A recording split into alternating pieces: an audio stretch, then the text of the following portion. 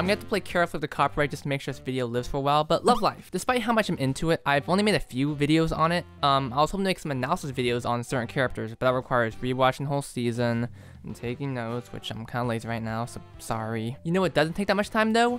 Music. Now, I'm not talking about the actual Love Live songs, the openings, the endings, the insert songs, which are all really good by the way. No, I'm talking about the actual music in the anime series, aka the background music. Each of the Love Live anime seasons has their own soundtrack attached to it, and as someone who has used all the tracks of these albums for background music in my videos, they're really good and really represent each of the individual groups in amazing ways. Now, I have all the soundtracks on my computer, don't ask how I got before they released on streaming services, but let's talk about the soundtracks used in Love Live. Now, if you're thinking I'm going to be doing a professional music review on this, then uh, no.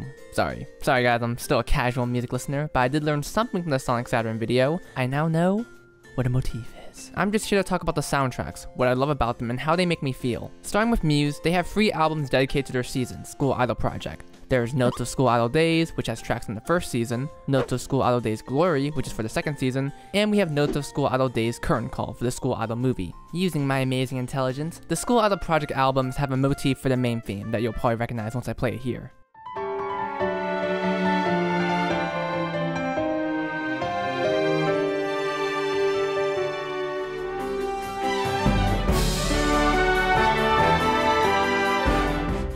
The soundtrack radiates a 2010s chill vibe, which fits when the series was released.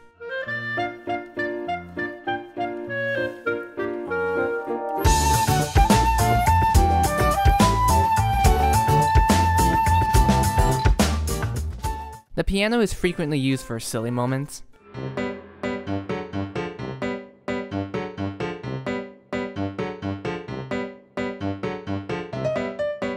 There's also a frequent use of trumpets like for track 17.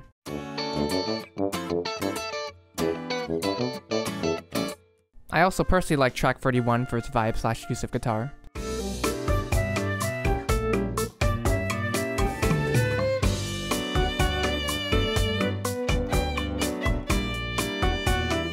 One thing I like about the soundtrack is that it isn't trying to be something it's not. It's notes of school idol days, so these tracks are meant to represent that. The average day, the shenanigans that can happen, the days that seem to pass faster and faster, and maybe the days that have a lot of importance to us, even though to others, it was just a Tuesday.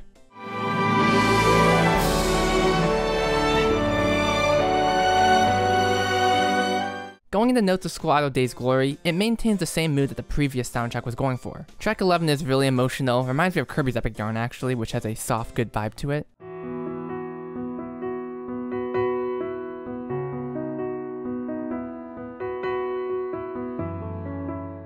We get to hear some trumpets again in track 28.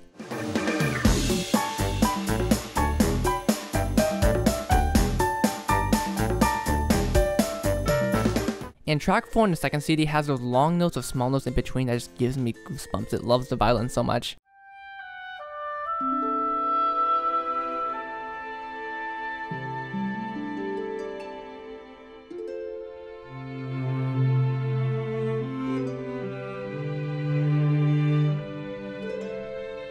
There's a motif to the ending theme on track 14 on the second CD.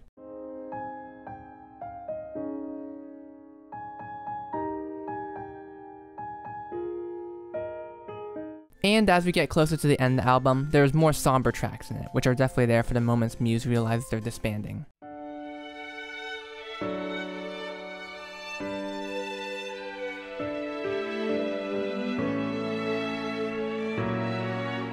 Curtain Call, while the same, has a lot more diversity in tracks. It's a lot more exploring and outgoing due to the plot of the movie where they visit America!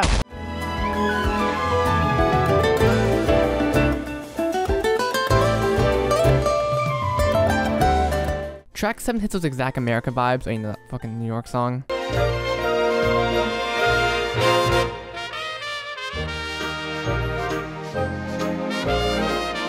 Every song in School Idol Project feels like it's all live orchestrated, and I'm gonna break my rule of not talking about insert songs, but as time goes by, so good. I made a whole video on it years ago, and some points in the movie, go watch that.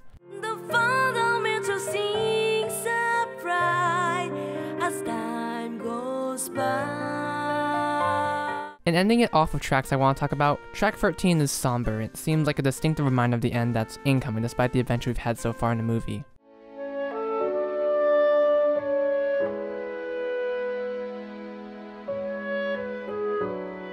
And that's it for School Idol Project. I think the soundtrack perfectly represents the series, and you know a soundtrack is good when you can listen to a track and immediately associate with a scene that played in the series. I didn't want to include every track in the series even though I want to, just copyright. I do really love the tracks I include in the video though. But now that School Idol Project was over, how was Love Live Sunshine going to be acting as a successor to School Idol Project in more ways than one? Well, looking at Sailing to the Sunshine, the first season's album, it's pretty good. Listening to the soundtrack feels like sparkles. It's like being sprinkled everywhere.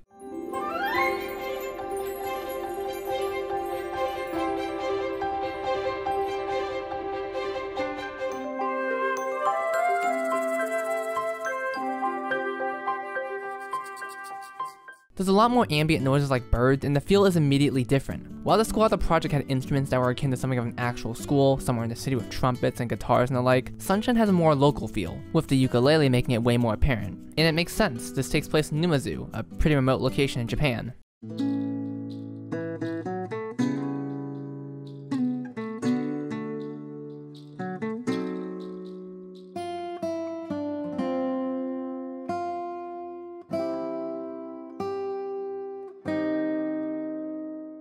Also, for this series, I noticed a lot more motifs than the School Idol Project soundtrack. It constantly references that sunshine do do do do do do do do do.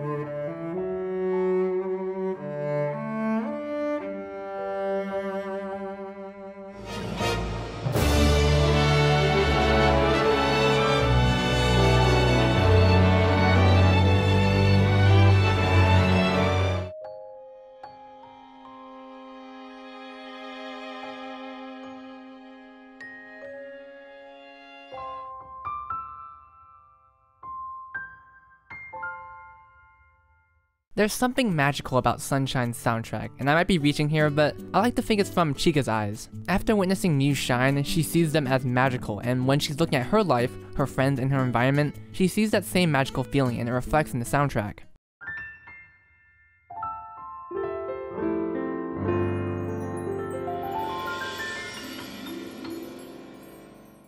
Listening to each track, there's so many motifs that I can't pinpoint, but one thing that the music reminded me of was the sound of ocean waves. And I mean that with the sounds and the rhythm, if that makes sense. You know how waves go up and then go down? A lot of tracks give that same feeling.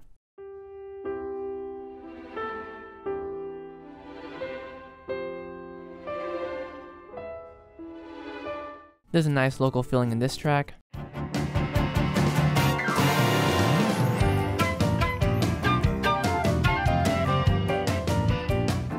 The soundtrack really sums up Numazu as a place. In the series, I mean. I'm not sure how it feels IRL as far as I know.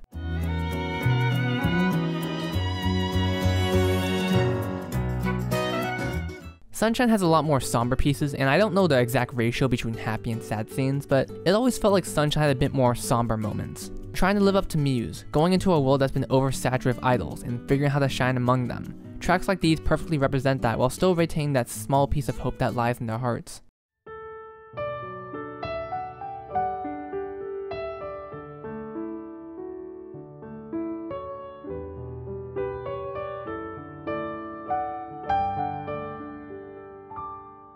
Moving on to Journey to the Sunshine, the second season's album, the main theme's motif changes to be a bit more uplifting, like it's starting to rise, representing Aqours for the newfound motivation.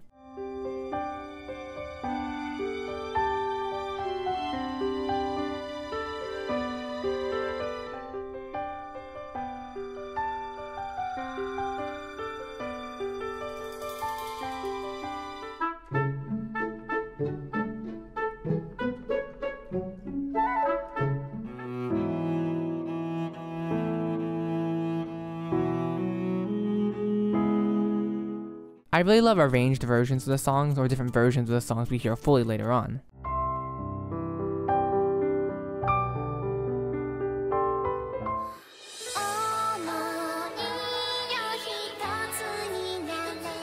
Once we reach Sailing to the Rainbow, off topic, I love the album titles and how much they match the series. We start with track 1, which starts off with a similar tune we've heard in the series, don't ask me what it is. Also, here's my little dopamine trick. I love vocals, a cappella stuff, so stuff like this makes me so happy.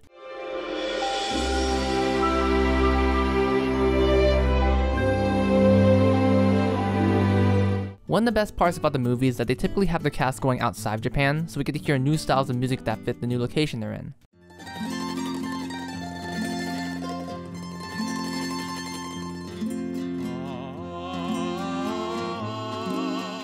My absolute favorite track to end off though is Everything Is Here. It's a long ass track, but it really represents Aqours in a, like an, I don't know, uh, audio waveform? What are the terms I should use for this? But being real, it represents the journey of Aqours to me.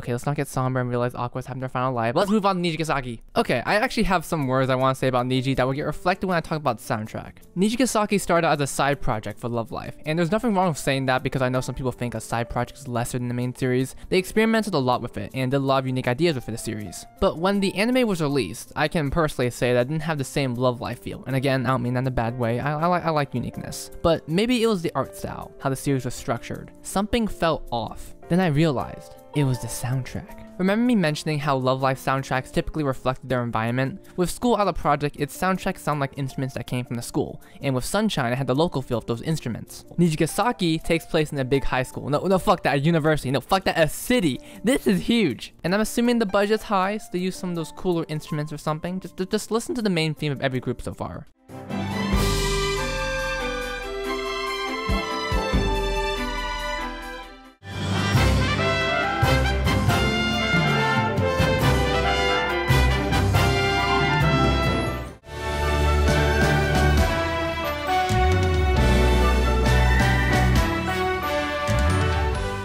Noticed a small difference, right? I think it's the instruments that are messing with me. Anyway, onto the actual tracks. Track 3 sounds like Nintendo elevator music, it's futuristic and modern, uh, there we go, modern. The other settings were more grounded in a sense with their locations, while Niji fully embraces the setting of technology and I really like it.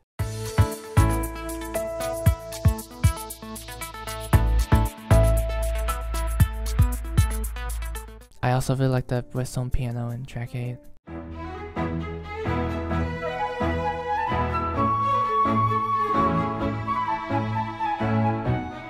While listening to the soundtrack, I didn't notice those long notes, like those violin notes, and it doesn't feel right without it. Maybe I missed it, I don't know. Track 20 shows that modern setting in a way. It makes the soundtrack unique with the instruments they use, and it gets to a point that I can probably tell if a track is specifically from Niji or not.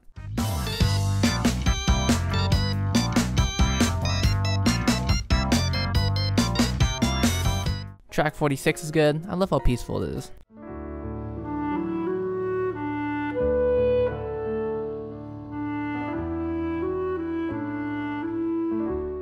Track 65 is also good. It's weird how it has the same feel of other Love Live tracks, but it feels different in a way. Like the composition is similar, but it's the instruments that give it a whole new identity.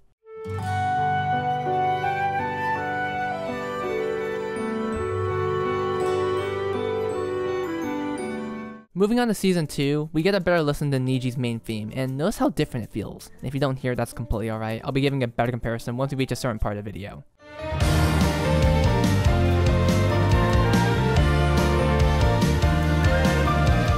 I like track 5, it sounds like Kirby, you may notice the bias here.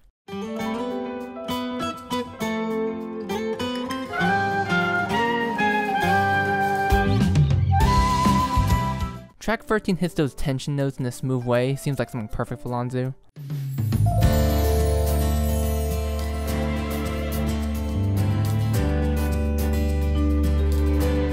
Track 22 is really good. I used to listen to it when I was like really depressed. Sometimes I wish I was swinging on those swings.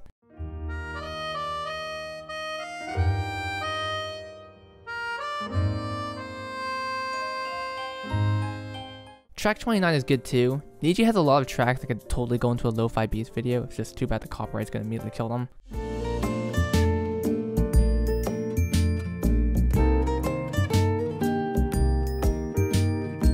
Track 16 from Disc 2 sounds like something straight out of Mario Galaxy, and I love how Mia's tracks are fully labeled in English.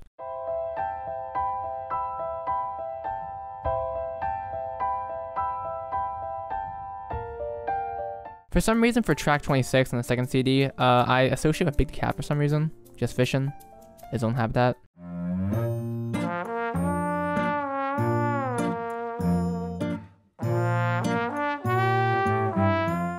Hope that after having you listen to a bunch of the tracks from Nijigasaki, you see that feels different from the previous soundtracks. Again, this is not said in a negative light in any way, I love the Niji soundtracks, and while it is Love Live, it's Love Live in a different way than the spin-off theme. And the only reason I say all that with the whole uniqueness and how different it feels is because of Love Live Superstar's soundtrack. When I watched Superstar back when it was airing in 2021, with the awesome team on eBay providing cool translations, it felt good. I watched Nijigasaki beforehand and I enjoyed it just fine, but when I watched Superstar, something just clicked. I don't know if it was the art style, the setting, but something about it just felt like we were back to Love Live. You know, it was at its most peak at this moment.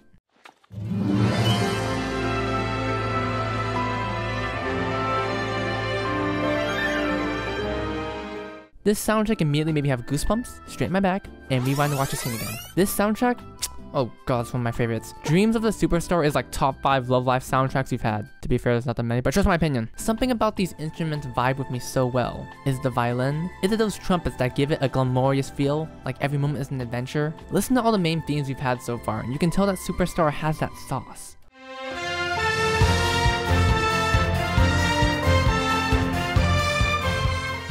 Track 2 feels like such a good transition to the soundtrack. It's that feeling of starting a new journey, a new you, perfectly representing Kanon. Am I reaching? Who knows?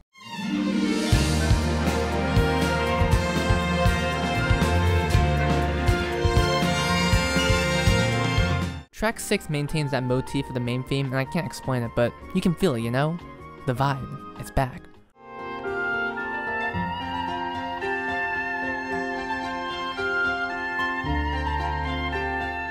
Whenever I listen to this track, it reminds me of School Idol Project and Sunshine, but as it continues, it tells you, hey, we're also our own thing here. Track 12 is the one that plays at the end of episode 1, and everything about it feels so magical. The track continuously hesitates to take that leap, to make that jump, similar to Khan Kanon deciding whether to pursue this dream of being a school idol or not.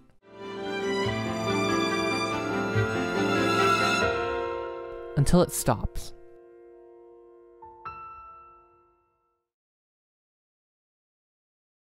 And then...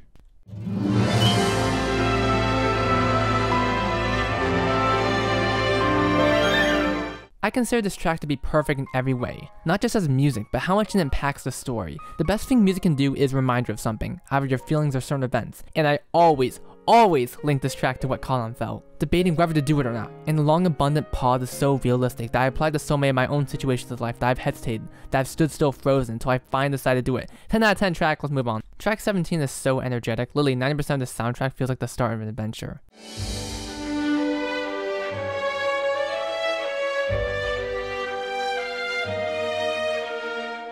It feels so reinvigorating. In fact, it makes me want to get up and do something. Okay, bye guys.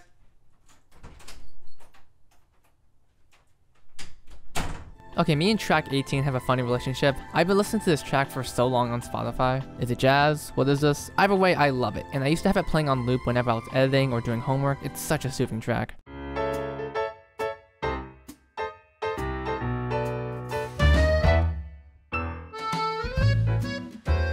I used to sleep to track 23. Yeah, I don't have much to say about this track.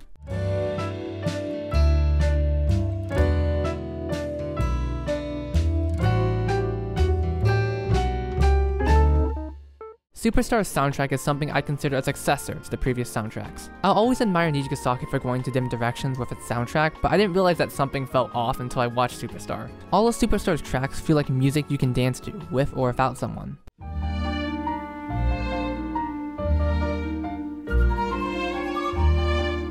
Track 15 on the second disc has always hit me in a lot of ways. It gives off so much School Idol Project and Sunshine vibes in a nostalgic way, and it fits with the context considering Ren finally figures out that her mom loved being a school idol and never regretted it. When it shows those old pictures, it's so good it makes you cry.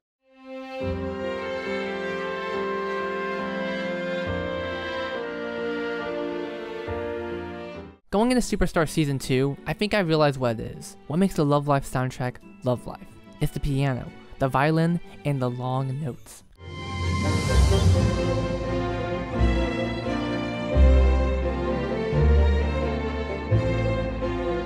Dash is a really good track. It reminds me of Mario Galaxy and Nintendo games. I think this is why I love the soundtracks.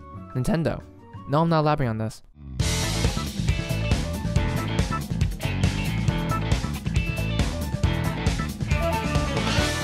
Listen to the second season's album. Season 2 has a lot more interesting creative tracks that make it so amazing to listen to because you don't know what you're gonna get next.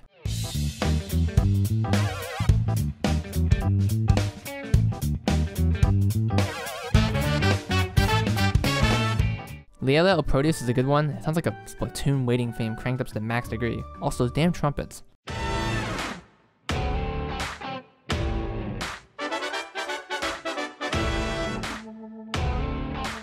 Tano Shijao gives off the best Christmas not Christmas song. I really wish I had a musician friend me right now so they could identify all the instruments used because this feels like a jolly old time.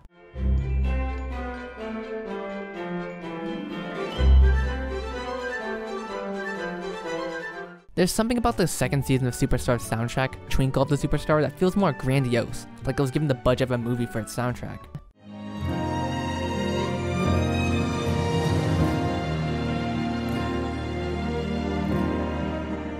Also, Mirai E, when it gets that motif and that stab from of Ren, I, I almost lost it.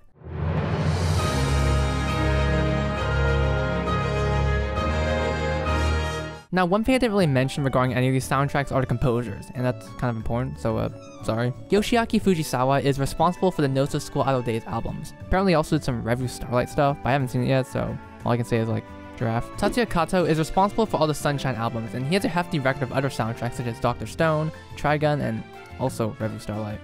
Huh. Naoki Endo is responsible for the Nijigasaki albums, and he has some history of Idolmaster and some of the Love Live seiyuus, which is really cool. Yoshiaki Fujisawa returned from Idol Project for the Superstar album, which probably explains why it feels so Love Live, because I got the original dude. All these composers are amazing, and I'm surprised that even though all the different series have different composers besides Superstar, they still have a similar vibe to each other that makes it Love Live. There's a lot of love that goes into these, and the fact they don't have many streams is sad because they really should get some attention. They connect with certain Love Live songs that heighten the experience even more given the context. As of the time recording, Superstar Season 3 is premiering right now and that has its own soundtrack, along with the Nijigasaki movie, and those haven't been released yet so unfortunately they're being skipped. Along with that, I'm aware there's some albums for like the musical slash play, maybe the OVA, I'm not too sure, but this is all I could gather so far. It's been nice talking about the soundtracks that I've loved listening to for years now, and one good thing now is that Love Live Company isn't stupid to keep it all physical. They actually made it digitally recently, so you can just feel free to listen to it on Spotify, YouTube Music, iTunes, and the like. Uh, I remember back when Love Live didn't have any of their music on Spotify, so I literally had to use Spotify local files to transfer it over to my iPhone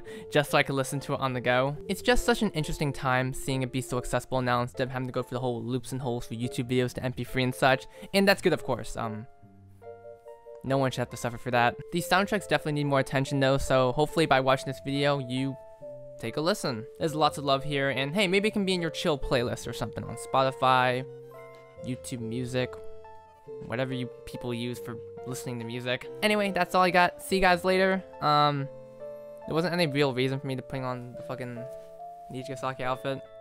I, I just really like it.